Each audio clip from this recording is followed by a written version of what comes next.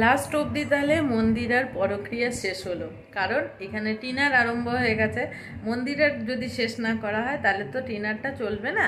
ওই জন্যই মন্দিরে এখন এন্ড করল, টিনা আরম্ভ করল। তারপরে কে কে নেক্সট করছে, তোমরা সবাই দেখতে থাকো কি চলছে আর কি হবে। আমরা কি চলছে সেটা তো দেখতেই পাচ্ছি। এবার পরের লাইনগুলোও বুঝতে পারছ হয়তো যে কে কি করবে। তোমরা বুঝতেই পারছ। So guys welcome back to the channel simple couple ব্লগের তোমাদের সবাইকে স্বাগত।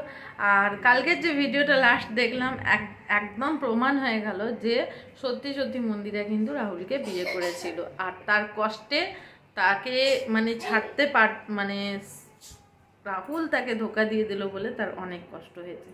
বর এদিকে বউয়ের জন্য কেঁদে যাচ্ছে আর বউ নিজের বয়ফ্রেন্ডের জন্য কেঁদে যাচ্ছে। তো কি করা যায় বলো? কিছু করা নেই। কিন্তু কি শিক্ষা দিচ্ছে বলো তো? মেয়েটার কি হবে? মেয়েটা এখন হয়তো ছোট আছে। পরে গিয়ে পরবর্তীকালে যখন ও ভিডিওটা দেখবে, ছোট থাকলেও এখন বোঝার মতো ক্ষমতাও যথেষ্ট হয়েছে। এখনকার বাচ্চারা প্রচুর অ্যাডভান্স তো প্রায় মানে সবই বুঝতে পারে। তো আর একটু বড় হলে ওকেও কথা শুনতে হবে। স্কুলে যায়, টিউশনে যাবে। ওকে কিন্তু ভীষণ কথা শুনতে হবে। মানে মা বাবার কর্মফল যে বাচ্চারা পায়, এটা কিন্তু প্রমাণিত করে দিচ্ছে মন্দিরা। আর মন্দিরা তো করছেই, তার সঙ্গে সোমনাথও সোমনাথকে দেখে আমার ভীষণ কষ্ট হয়েছে, ভীষণ কান্না পাচ্ছিল ভীষণভাবে। প্রথমটা যখন আমি লাইভটা দেখলাম, তখন মনে হলো যে মন্দিরা কেনই বা এমনি কাঁদছে বা কি হয়েছে? মন্দিরাকে দেখে ভাবলাম, কি হলো? শুনি তো একটু। এত কষ্ট লাগছে যে মানে এত ভালো সংসার, ওরা যখন সৌভাগ্য কুটিরে গেল, এত সুন্দর সংসার, কোথার থেকে কোথায় উঠে গেল? কত ভালোভাবে থাকবে তা নয়। ঠিক আছে, কাউকে যদি তোমার ভালো লেগেছে, সেটা তুমি নিজের সংসারটাকে আগে ভাবো। ভালো লেগেছে, ভালো লাগার জায়গায় রাখো। ভালো লাগা মানেই ভালোবাসা, তা নয় কিন্তু। তোমার ভালো লাগল, একটু একটু কথা বললে আলাদা ব্যাপার। এবার সেটা নিয়ে তুমি যদি পুরো নিজের সংসার তছনছ করে তার কাছে চলে যেতে চাও, সেটা তো ঠিক নয় না? তোমার এখন তুমি হাজব্যান্ডের সাথে লড়ছিলে যে আমার বাচ্চা দেখতে হবে, বাচ্চা মানে বাচ্চাকে সামলাতে হবে, মেয়েকে সামলাতে হবে। তো তুমি এইটা ভাবোনি যে আমি পরপুরুষের হাত ধরে চলে যাব, তো আমার মেয়েটার কি হবে তখন? তোমার হাজব্যান্ড বলে তোমার, ওর মেয়ে বলে সে সামলে নিচ্ছে। তো রাহুল কি সামলাতো তোমার মেয়েকে? তাই যা করেছ মানে অনেক ভুল করেছ জীবনে। তো এবার ভালোভাবে থাকো। সব সময় কামনা করেছি যে তোমরা ভালোভাবে থাকো। মানছি ভুল হয়ে গেছে, কিছু করার নেই। এবার ভুল যখন হয়ে গেছে প্লিজ তোমরা ভালোভাবে থাকো। তোমাদেরকে একসাথে দেখলে আমাদের ভীষণ ভালো লাগে।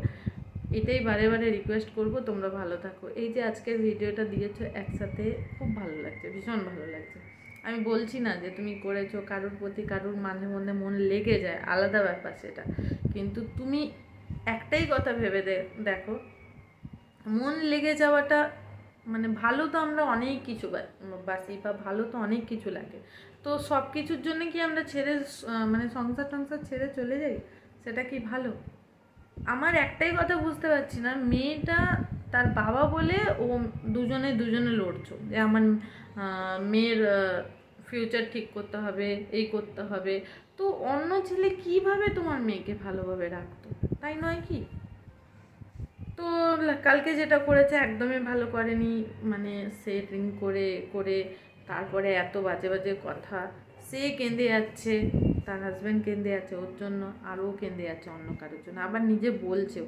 আমি এখনও বুঝতে পারছি না যে ও ও ভাবলো কি, মন্দিরে ভাবলো কি, যে আমি যদি না মানে নর্মালে বলি, সবাই আমাকে আরও বেশি গালি দেবে। তো তার তুলনায় আমি কি করি, আমি একটা নাটক করি যে আমি ড্রিঙ্ক করি, যাতে সবাই ভাববে ড্রিঙ্কের কথা, ওর মনের কথা সব বেরিয়ে গেছে। কারণ ড্রিঙ্ক না করলে তুমি এত কথা নর্মালি বলতে পারতে না। তো এটাই তোমার ড্রিঙ্ক করার কারণ বুঝেই গেছিলাম।